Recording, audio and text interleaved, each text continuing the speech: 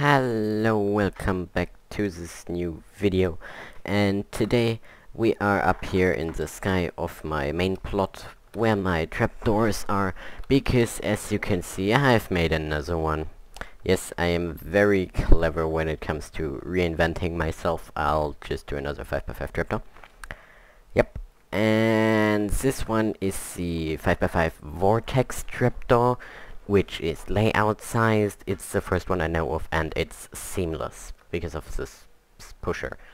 Now I know it's not smallest possible because you could use um, a too wide uh, triple plus extender here, but I don't think that's possible. And now I know um, Sacred Redstone or Alex Paquette, but now Sacred Redstone will totally watch this and be like, nah, that's possible, and beat me, like last time and yeah as this is 4 by 11 by 12 which is 528 blocks and yes the vortex concept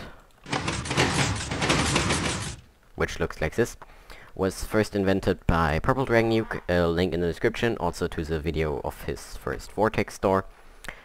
Uh, his yeah, didn't actually have a medal if I remember correctly. But yeah,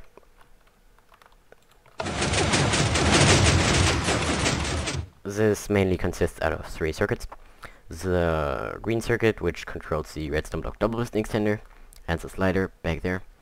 Uh, the yellow circuit, which is responsible for this entire side with the triple piston extender and the double piston extender. And then the dark gray circuit, which just is um, three times the same, one here, one here, and the one there, uh, to do all the side stuff.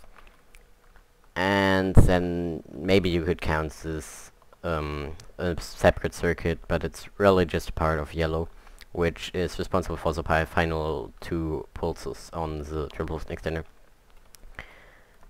And this purple block is just here so that you don't hear annoying sounds after the end, because when this turns on, uh, this will deliver a one tick to this four tick repeater, so four ticks after everything is done you will hear a piston extending and retracting.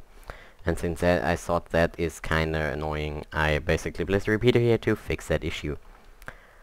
And yeah, there's not really anything else to say. If you want a tutorial, please write it in the comment section. You can leave a like, you can subscribe, you can do whatever you want.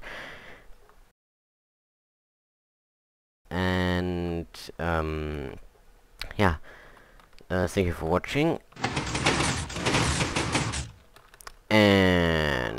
Shit.